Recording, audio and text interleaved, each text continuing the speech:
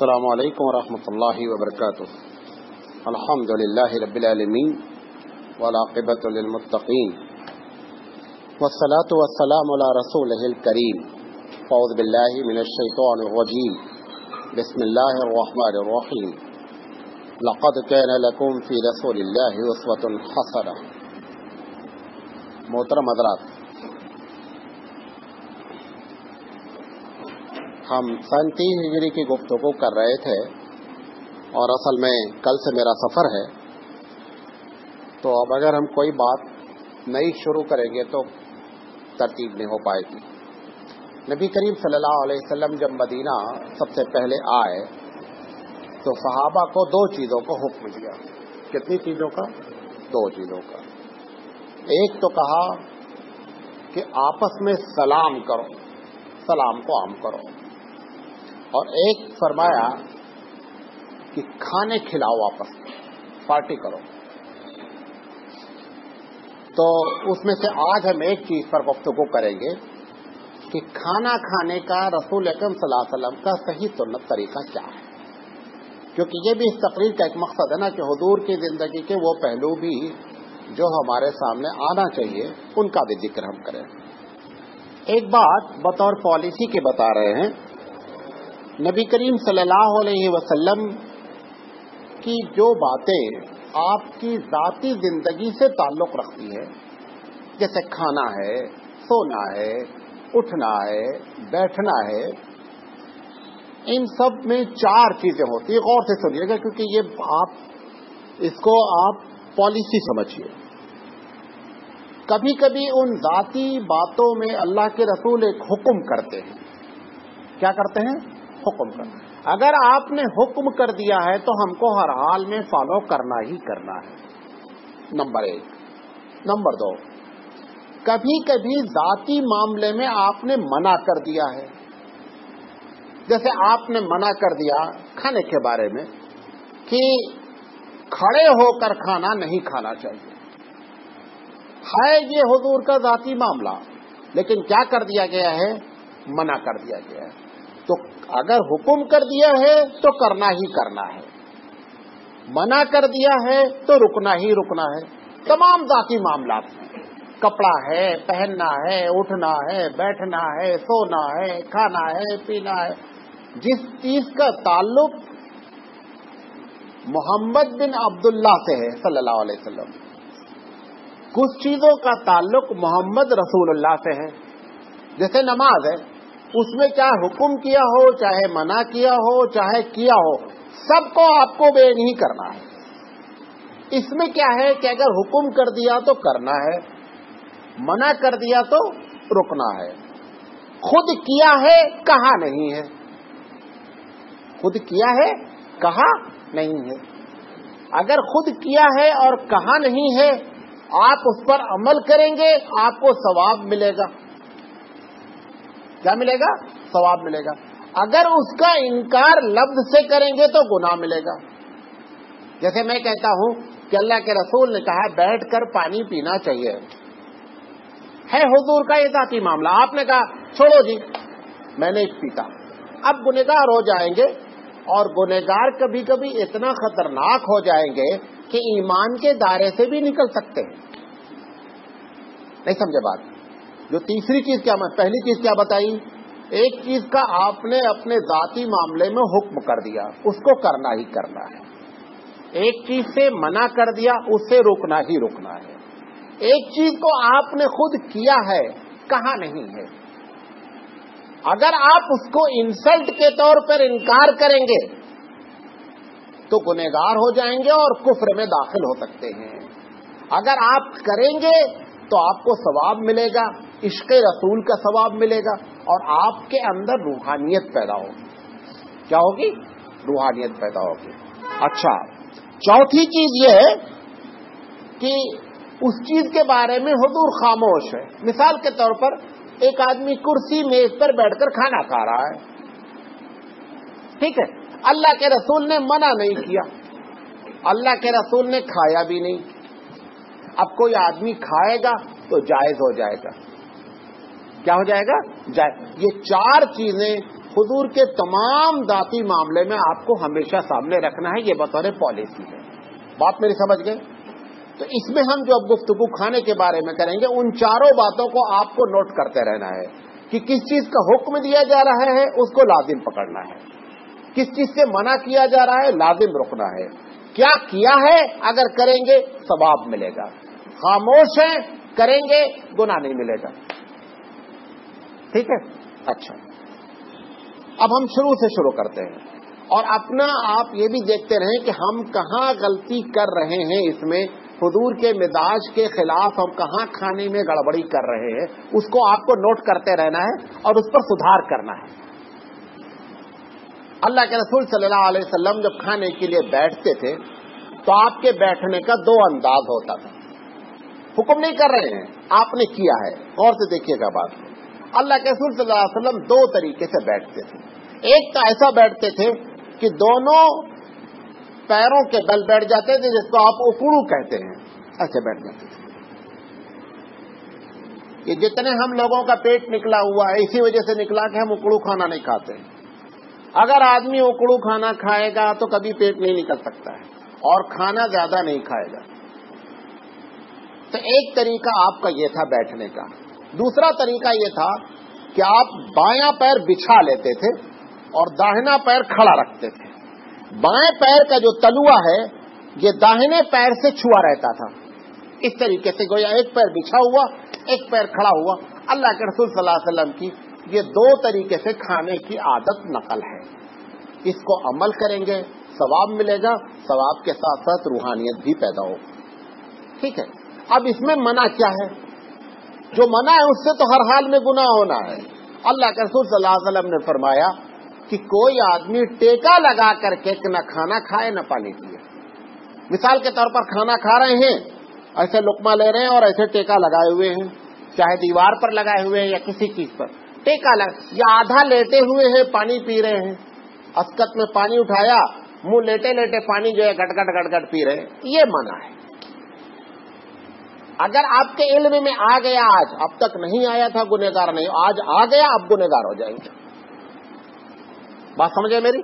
जब तक नहीं कर रहे, नहीं मालूम था, माफ़ है अब मालूम हो गया कि अल्लाह के रसूल ने टेका लगाकर खाने से मना फरमाया है, अब आप करेंगे गुनेगार हो जाएँगे। जो तरीका बताया गया, उस तरीके से करेंगे, सवाब मिलेगा। उसके अलावा जिस तरीके से भी बैठकर खाएँगे, गुनाह नहीं होगा। अच्छा एक बात। बहुत तरतीब से ले चल रहा हूँ आपको। बैठते ही हम सबसे पहले काम क्या करते हैं? हम हाथ धुलते हैं।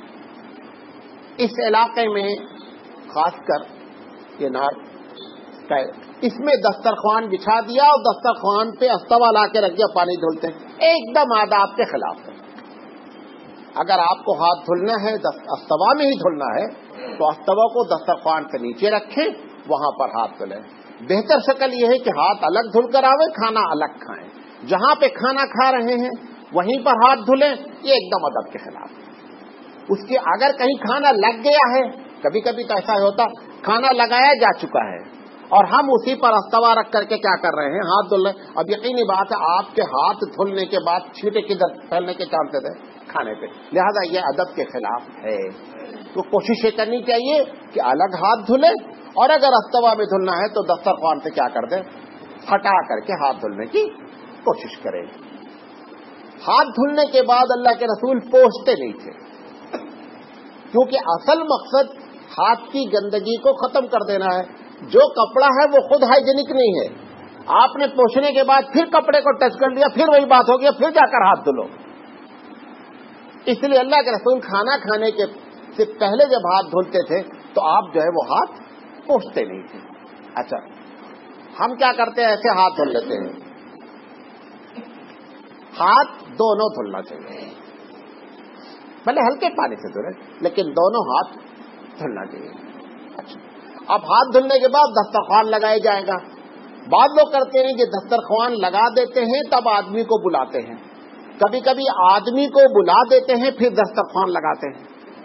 अच्छा तरीका यह है कि आप आदमी को पहले बैठाल दें, फिर खाना लगाएँ। उसकी वजह क्या है? अगर आपने पहले खाना लगाया तो खाना हमारा इंतज़ार कर रहा है। हमने खाने का इंतज़ार नहीं किया। लिहाजा बेहतर शक्ल यह है कि आप क्या करें? पहले बैठ जाए, फिर क्या बोले? अब आप खाना लगाए। ये सबसे अच्छी शक्ल है। दोनों में मंतिक क्या है?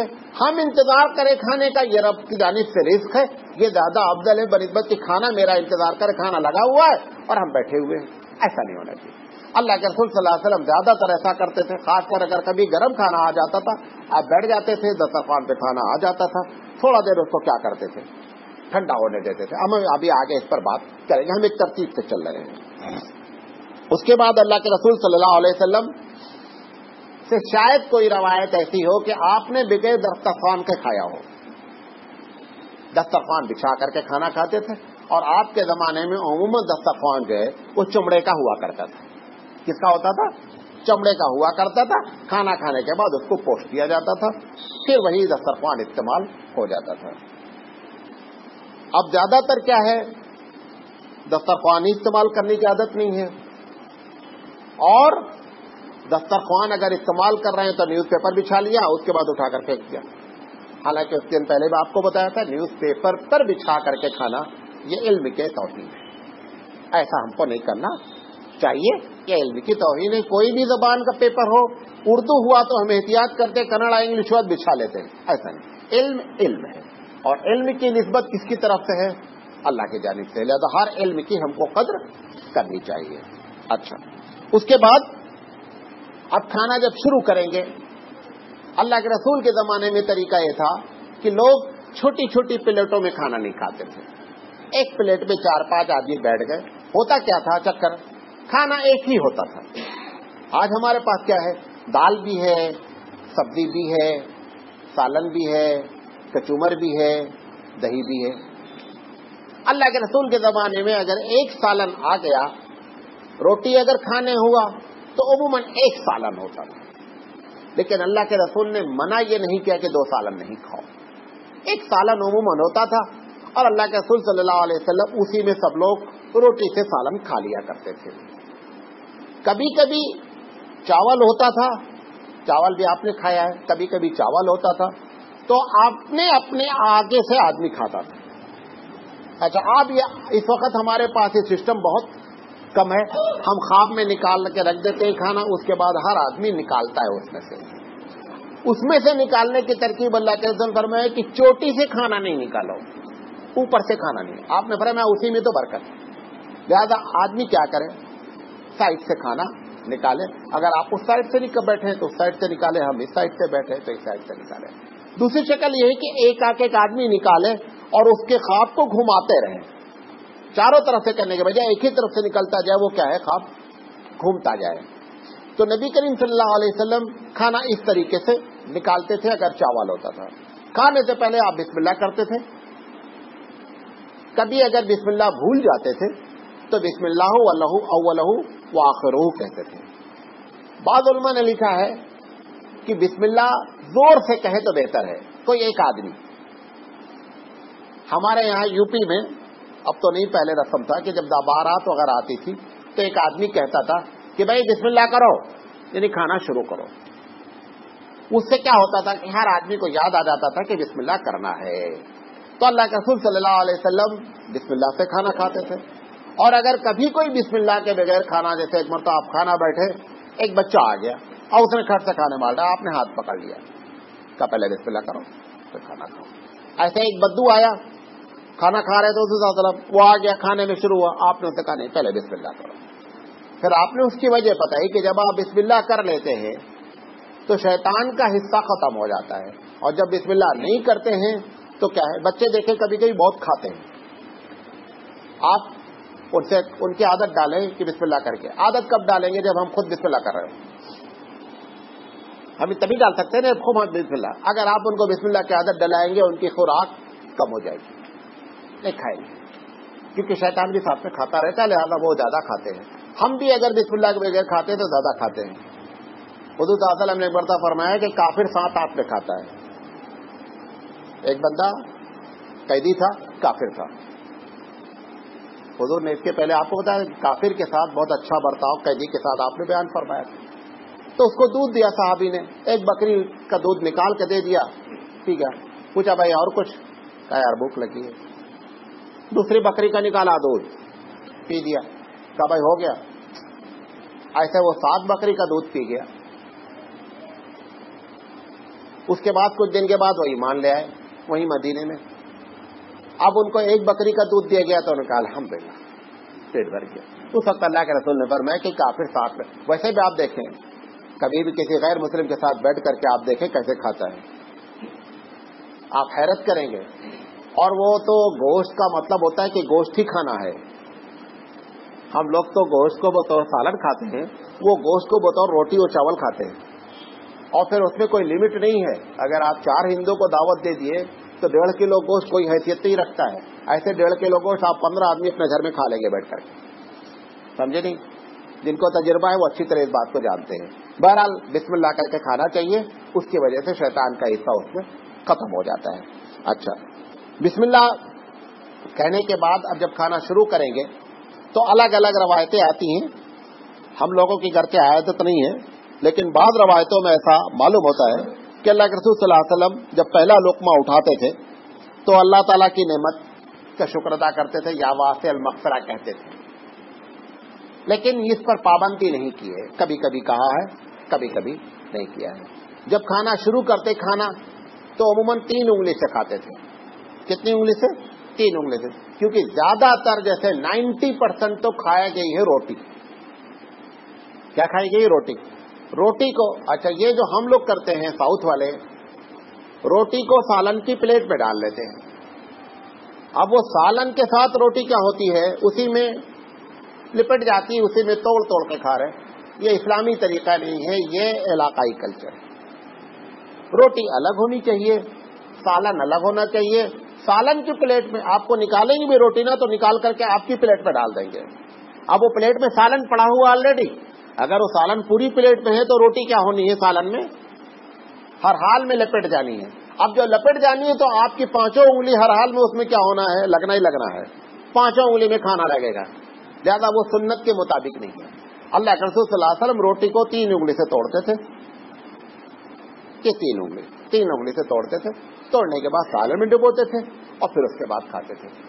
अगर आपको रोटी और सालन मिक्स करके खाना है चावल के तरीके से तो फिर उसका तरीका है कि सालन में रोटी डाल दें, जिसको सनी दर्गी कहते हैं।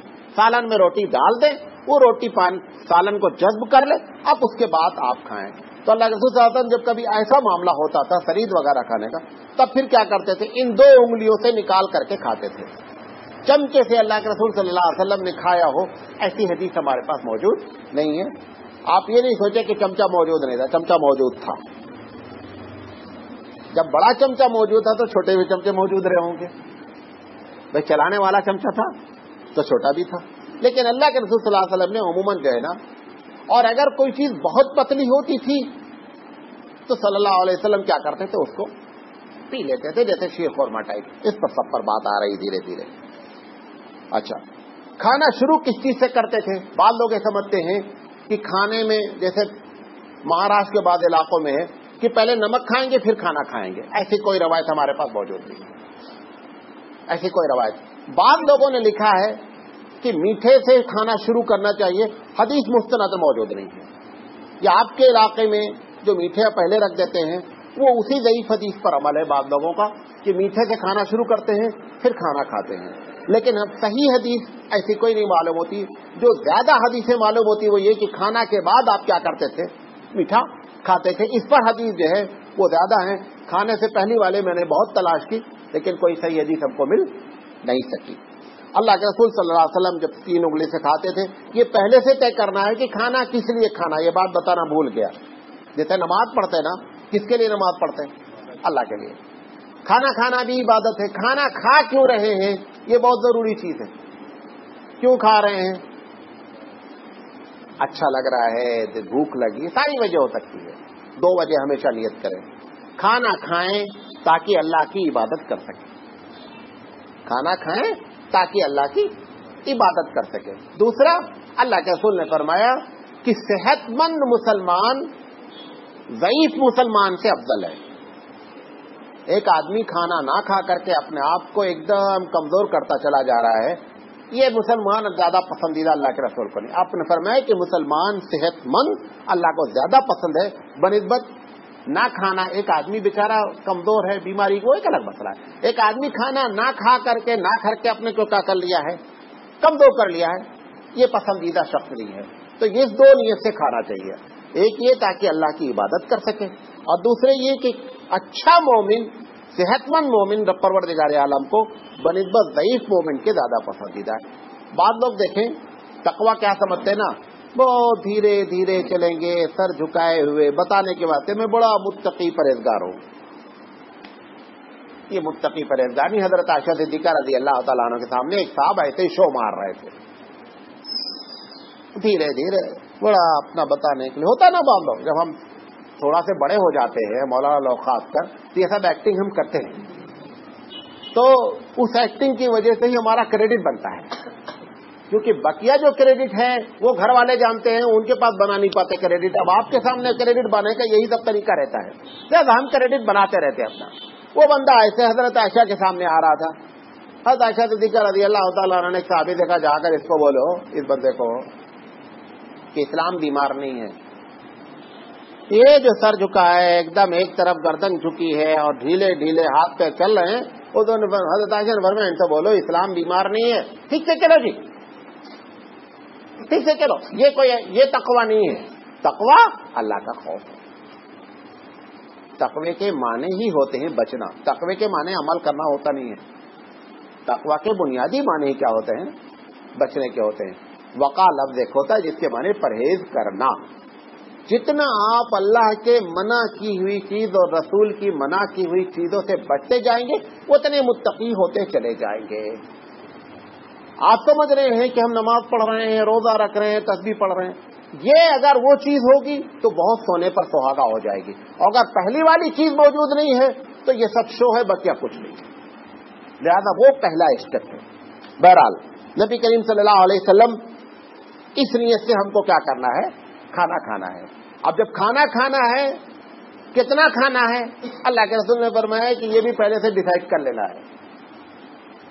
तीन हिस्सा अगर भूख है मतलब तीन रोटी खाने की गुंजाइश है तो एक रोटी खाना है। अगर आप इस फार्मूले पर अमल कर लें, खासकर 25 साल से शुरू कर दें, आप बीमार नहीं हो सकते। ये बीमारी की सारी वजह क्या है? पेट का मामला है। आप देखें, हकीम के पास जब आप जाएँगे इलाज करने, वो सबसे पहले आपको पेट का इलाज करेगा बकिया बाद में करेगा। सारे इलाज को आप कान का बोले, सर का बोले, सर में दर्द है, वो सबसे पहले क्या करेगा? पेट का इलाज करेगा। क्योंकि सारा मामला क्या होता? है खाने की वजह से सारे सिस्टम, भाई यकीनी बात है, एक चक्की है जो पीसती है। चक्की में उसकी एक लिमिट है गेहूँ डालने की। आप भर भरा करके पूरा गेहूँ इकट्ठा डाल दिया, वो चलेगी ऐसे ऐसे फिर वो। झूमने लगेगी। तो ये मशीन के डाइजेशन का एक सिस्टम है। आप इसमें ठूस देंगे तो ये चलेगी कैसे बेचारी? वो जितना कमज़ोर चलेगी, उतना मामला क्या होता जाएगा? गड़बड़ होता चला जाएगा। अल्लाह के रसूल सल्लल्लाहु अलैहि वसल्लम फरमाते हैं कि एक हिस्से में खाना खाना है, एक हिस्से के लिए पानी पीना है और एक हिस्सा हवा के लिए रखना है। हम कहाँ तक खाते हैं? रमज़ान अगर आ गया, बेकार आना तो पानी आ जाना, तब तक नहीं छोड़ने का फिर क्या बोलते हैं? मौलाना उसके बावजूद ये भी बोल बोलने के, मौलाना रोजा बहुत लग रहा है। रोजा इसलिए लगता है कि अल्लाह के रसूल की नाफरमानी हुई। अल्लाह के रसूल की ताबेदारी करेंगे तो रोजा नहीं लगता है। अब्दुल कादिर जिलानी रहमत वगैरह के बारे में आता है कि शहरी में कभी कभी तीन, चार, पाँच बादाम खा लेते थे बस। रोजा रख लेते थे।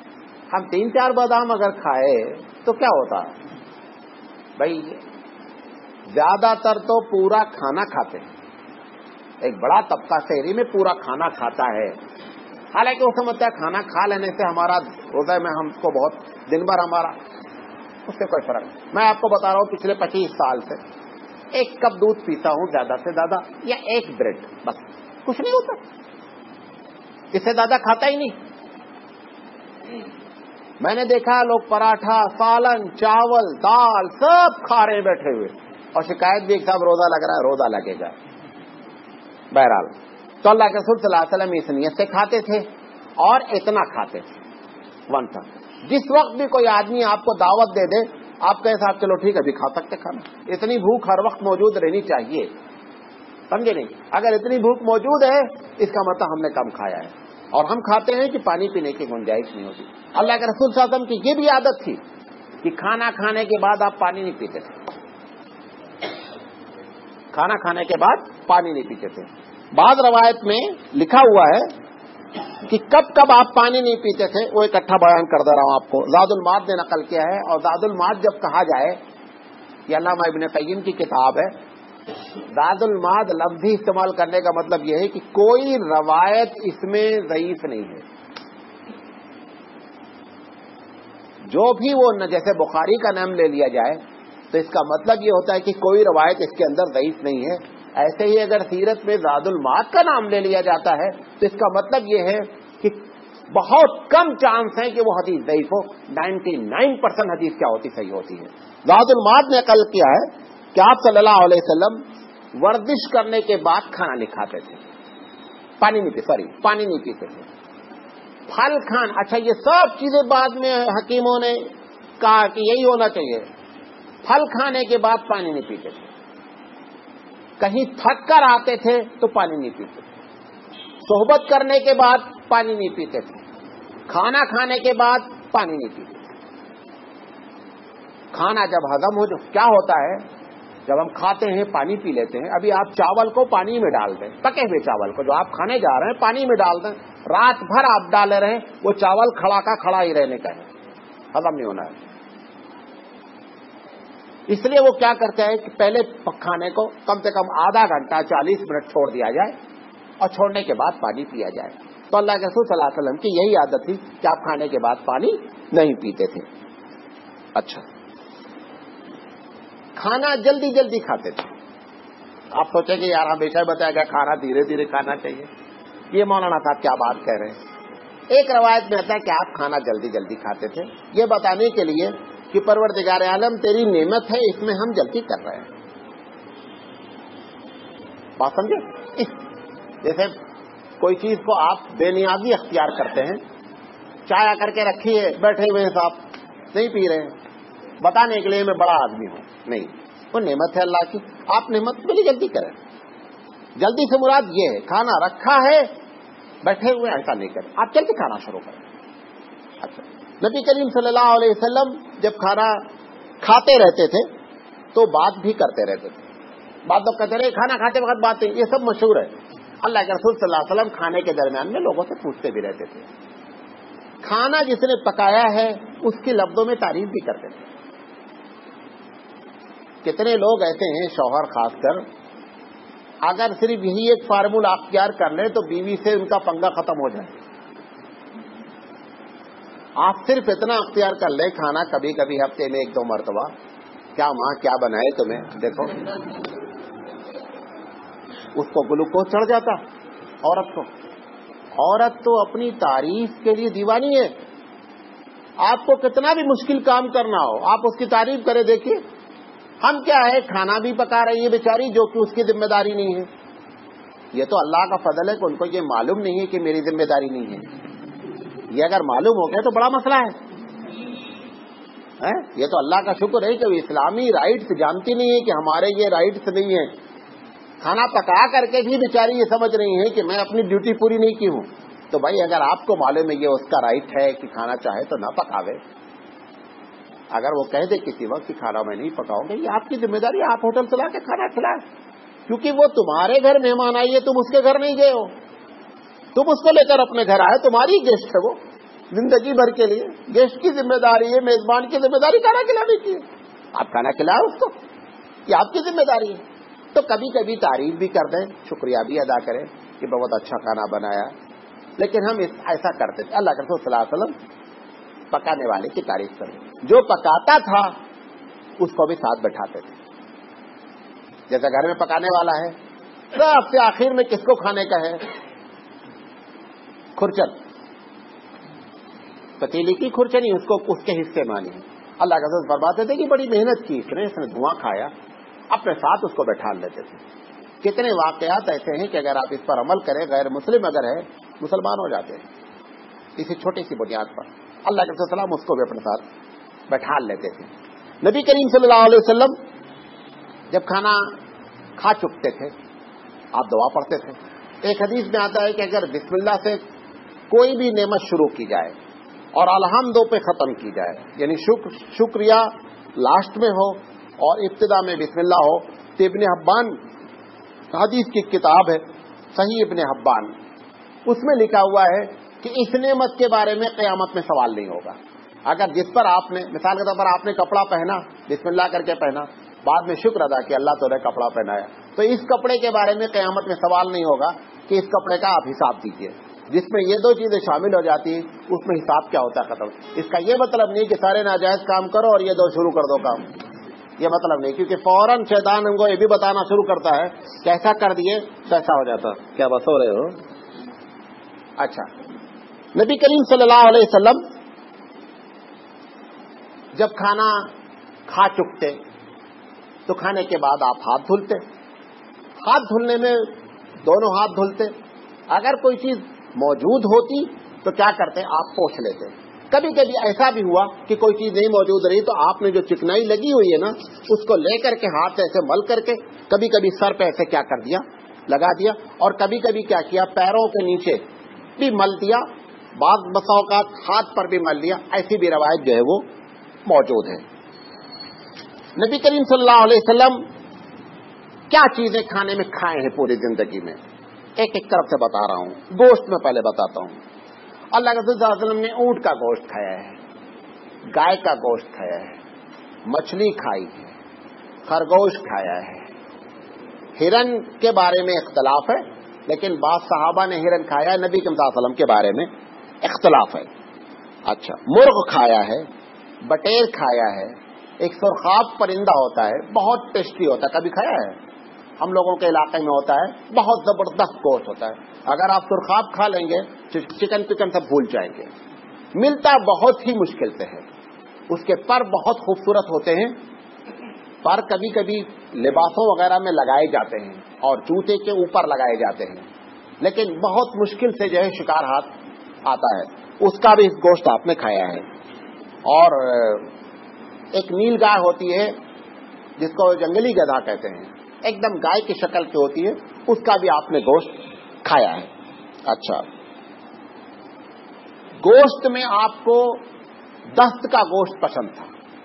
यानी इस पोर्शन का गोश्त आपको पसंद फरमाते थे गर्दन के गोश्त के बारे में भी है कि गर्दन का गोश्त, जिस गोश्त में हड्डी होती थी, वो गोश्त आपको पसंद था ये सब इसलिए बता रहा हूँ कि आप जब खाएँ तो ये नियत करते रहें, ताकि आपको स्वाब मिलता रहे।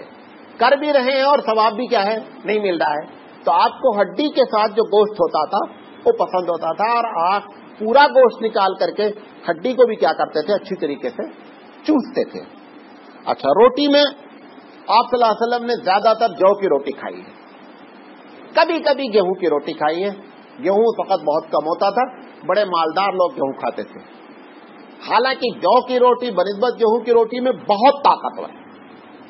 लेकिन जौ इत्तेफाक से उस इलाके में ज़्यादा होता था, गेहूँ पैदा नहीं होता था, लिहाजा जौ की रोटी खाते थे और जौ को छाना, छानते नहीं थे, उसी के साथ मिला करके खाते थे।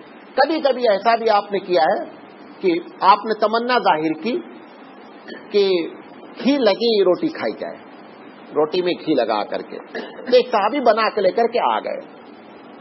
नबी कमसलम ने इतफाक से पूछ लिया कि जिस, जो घी लगाया है, वो घी किस बर्तन में रखा हुआ था? नहीं समझे। हमारे पास जैसे डब्बा होता है, प्लास्टिक का, स्टील का, ऐसा डब्बा घी रखा रहता है। अल्लाह के रसूल ने पूछा, वो घी किस डब्बे में रखा हुआ था? क्योंकि फकत प्लास्टिक और स्टील तो मौजूद नहीं थी। तो क्या होता था कि चमड़े होते थे। चमड़े के, अभी आप भी दिल्ली वगैरह में, अभी भी ये दस्तूर है। तेल अगर आप लेंगे ना तो चमड़े की जो है, वो होती है, सुराही टाइप उसमें तेल देते हैं। अभी भी मिलता है वो।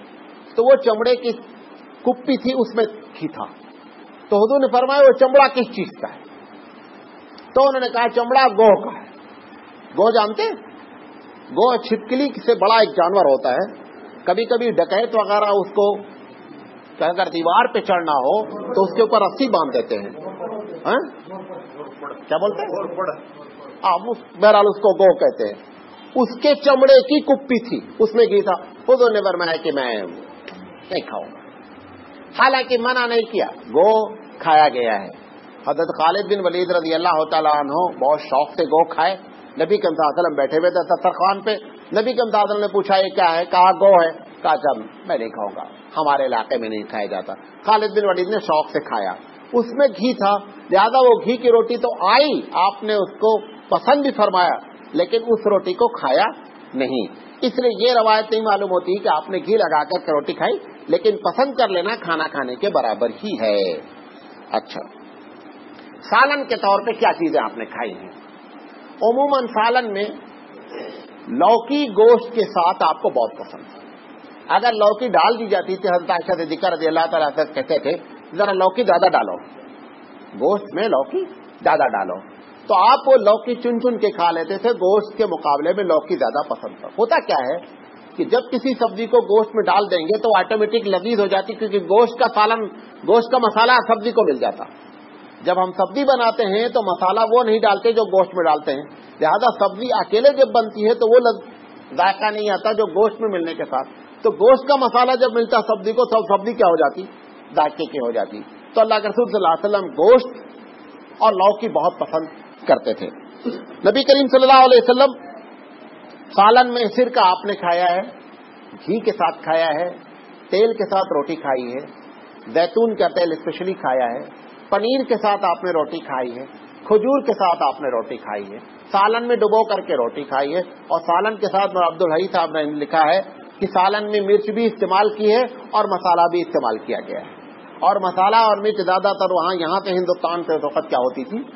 जाती थी क्योंकि ये पुराना मरकज है मसाला खाने का। इसीलिए यूरोप वाले मसाला जानते भी नहीं है। आपको मालूम है, पठान इतनी ताकतवर होता है, अगर आपको पठान को परेशान करना है, दो मिर्ची डाल दो सालन में, पठान खत्म।